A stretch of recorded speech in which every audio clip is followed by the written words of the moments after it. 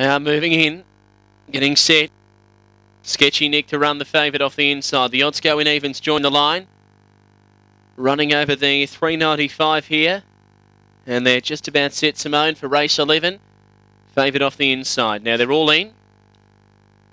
And the lighter bat to turn to green. There it is. 395 the journey. Race 11 all in. Set to go. Favourite in one. Set. Racing, Sketchy Nick out well near the inside, challenged by Cowrie, but Sketchy Nick's going to hold the lead, going out fast, Quizzical on the outside and Nick away. They're two in front to Cowrie, then a Harsh Miles improving, well back Lakeview Miss, Prince Mark Flyer, then Logic Lad, Lethal Spider, but it's Sketchy Nick a clear leader. Led for home by two lengths over Quizzical, then Cowrie, and the rest headed by Harsh Miles, but it's Sketchy Nick clear. Favourite goes all the way. Sketchy Nick by a length over Quizzical, two lengths away third Cowrie followed by Harsh Miles, Lakeview Miss, Prince Mark Flyer, Lethal Spider, and Logic Lad brought up the rear. Favourite from Go to O, 22.63.